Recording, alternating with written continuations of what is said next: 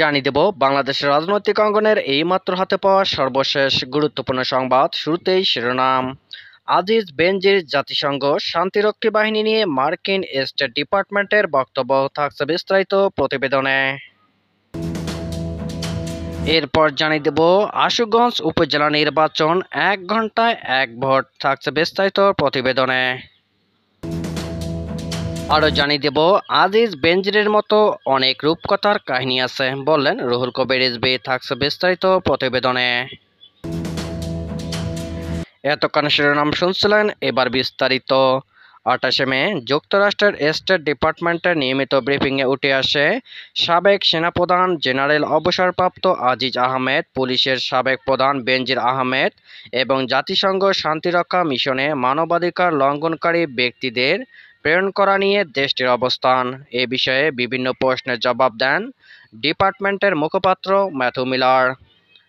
মিলারের কাছে সাংবাদিক মুশফিকুল ফজর আনসারির প্রথম প্রশ্ন ছিল, জার্মান ভিত্তিক ডয়সেবেলে সহ অন্যান্য পত্রিকার যৌথ তদন্তে জানা গেছে, Bangladeshi death squad rapid action battalion RAB এর সাবেক এবং বর্তমান সদস্যরা নিয়মিতভাবে জাতিসংঘ শান্তিরক্ষী হিসাবে নিযুক্ত হন। মানবাধিকারের চরম লঙ্ঘনের জন্য তাদের বিরুদ্ধে মার্কিন নিষেধাজ্ঞা এসেছে। র্যাবের অফিসারদের যে জাতিসংঘ মিশনে মোতায়েন করা হচ্ছে, তা নিয়ে আপনি কতটা উদ্বিগ্ন?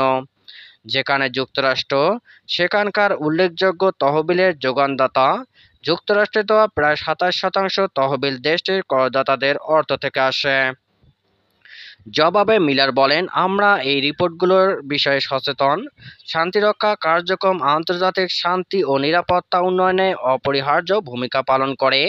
শান্তিরক্ষী কর্মীদের মানবাধিকার রক্ষা করাটা অপরিহার্য। ইউএন ডিউ ডিউ ডিলিজেন্স নীতি অনুসারে এই বিষয়টি সব প্রত্যায়িত করার জন্য সেনা এবং পুলিশ পাঠানোর পাঠানো। দেশগুলোর উপর জাতিসংঘ নির্ভর করে যে তারা মানবাধিকার লঙ্ঘন বা আন্তর্জাতিক মানবিক আইন লঙ্ঘনের সাথে জড়িত, সেনা বা পুলিশদের সেখানে পাঠাচ্ছে কিনা? দ্বিতীয় প্রশ্নটি ছিল এমন।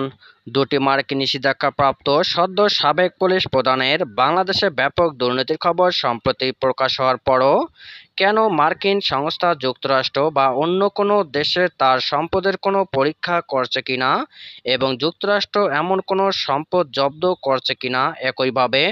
আপনার কাছে কি দুর্নীতিগ্রস্ত সাবেক সেনাপ্রধান জেনারেল আজিজ আজিজ সম্পর্কে কোনো তথ্য আছে, যার বিরুদ্ধে আপনারা সম্প্রতি ভিসা নিষেধাজ্ঞা আরোপ করেছেন? আপনারা কি সরকারের শীর্ষ নেতৃত্বের বিরুদ্ধে কোনো ব্যবস্থা নেবেন? এই কারণে যে কেন এই ব্যক্তিরা সব কিছু বা সব কিছু করার জন্য বিনামূল্যে ছাড় পাচ্ছেন? মিলার বলেন, প্রথম প্রশ্নটির বিষয়ে আমার কাছে বলার মতো কিছুই নেই। দ্বিতীয়টির ক্ষেত্রে বলব, আমি আপনার উল্লেখ করা অভিযোগ অভিযোগ এবং মিডিয়া রিপোর্ট সম্পর্কে সচেতন। আমরা স্পষ্ট করেই বলছি, দুর্নীতি অর্থনৈতিক প্রবৃদ্ধিকে বাধা দেয় উন্নয়নকে বাধাগ্রস্ত করে, সরকারকে অস্থিতিশীল করে এবং গণতন্ত্রকে দুর্বল করে বলেই আমাদের বিশ্বাস।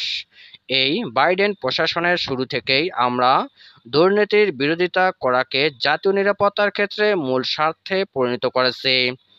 এই কৈশোরীর জন্য আমাদের বিশদ বাস্তবায়ন পরিকল্পনা বেশ কয়েকটি ঊর্ধ্বতন স্তরে প্রকাশ করা হয়েছে। আমার কাছে নতুন করে নতুন করে বলার মতো কিছু নেই। আপনি জানেন যে আমরা কখনোই নিষেধাজ্ঞা বা অন্যান্য পদক্ষেপের বিষয়ে আগে থেকে কিছু বলি না। শিবগঞ্জ উপজেলা শাহ ফরাসত আলী উচ্চ বিদ্যালয় ভোট কেন্দ্রে এক ঘন্টায় ভোট পড়েছে মাত্র একটি। এই কেন্দ্রে মোট বারোটি বুথ রয়েছে, জানা গেছে নয় নম্বর বুথে এক ঘন্টায় ভোট পড়েছে মাত্র একটি। সকাল নয়টার দিকে এই চিত্র দেখা গেছে। এই বুথের সহকারী প্রিজাইডিং কর্মকর্তা মামুন জোয়ারদার জানান, নয় নম্বর বুথে তিনশো সাতচল্লিশ জন নারী ভোটারদের ভোটারদের ভোট দেওয়ার কথা রয়েছে। নারীরা বাড়ির কাজকর্ম নিয়ে ব্যস্ত, এই জন্য হয়তো তারা এখনও আসছে না। তবে বেলা বাড়ার সঙ্গে সঙ্গে ভোটাররা আসবেন বলে আশা প্রকাশ করেন তিনি। এই কেন্দ্রের এগারো ও বারো নম্বর বুথেও এক ঘন্টায় ভোট পড়েছে দুটি করে। এ সময় ভোট ভোট গ্রহণে নিয়োজিত কর্মকর্তা ও আইন শৃঙ্খলা রক্ষার দায়িত্বে নিয়োজিত কর্মীদের অলস সময় পার করতে দেখা গেছে। বিএনপির সিনিয়র যুগ্ম মহাসচিব রুহুল কবির রিজভী বলেছেন, দেশ থেকে লক্ষ কোটি লক্ষ কোটি টাকা পাচার ও লুট হচ্ছে। ব্যাংক শূন্য হচ্ছে, আমরা তো শুধু দুজনের কথা শুনেছি। সাবেক সেনাপ্রধান এবং পুলিশ প্রধান, এটা তো শুধু তাদের রূপকথার কাহিনী এদের মতো আরও অনেক যারা সরকারকে নানাভাবে সাহায্য করছে। গুম, খুনে লিপ্ত ছিলেন, তাদের কাহিনী তো আমরা জানি না। আমরা না জানলেও কথাগুলো মানুষের কাছে আছে। আজ মঙ্গলবার জাতীয় প্রেস ক্লাবে জাতীয়তাবাদী প্রকাশনা পরিষদের উদ্যোগে আহ, আহবাব চৌধুরী খোকনের সম্পাদনায় জিয়াউর রহমান অন্যান্য রাষ্ট্রনায়ক গ্রন্থের প্রকাশনা অনুষ্ঠানে তিনি এসব কথা বলেন। রেজবি বলেন, সাবেক সেনাপ্রধান জেনারেল আজিজ এবং সাবেক পুলিশ প্রধান বেনজির আহমেদ যে এত কিছু করেছেন, এটা কি প্রধানমন্ত্রী জানতেন না? আওয়ামী লীগ সরকার, আওয়ামী লীগ সরকারকে কিছুই জানতেন না? যারা রাষ্ট্রে গোয়েন্দা বাহিনী করেছে, তারা তো প্রধানমন্ত্রীর কবজায়। শেখ হাসিনা যদি আমেরিকায় যায়, সেখানে আন্দোলন হলে সেই ছবিগুলো তুলে রাখা হয় এবং পরবর্তীকালে সে আন্দোলনকারী বাংলাদেশে এলে এয়ারপোর্টে গ্রেপ্তার করে।